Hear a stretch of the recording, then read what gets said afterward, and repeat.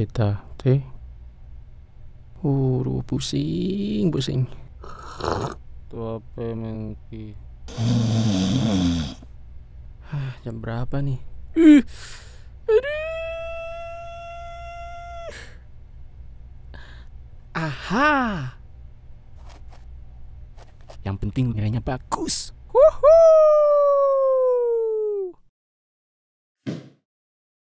Saudaraku, nilai yang tinggi bukan prestasi, tapi kejujuran dalam berusaha itulah prestasi. Menipu untuk mendapatkan penghargaan itu hina.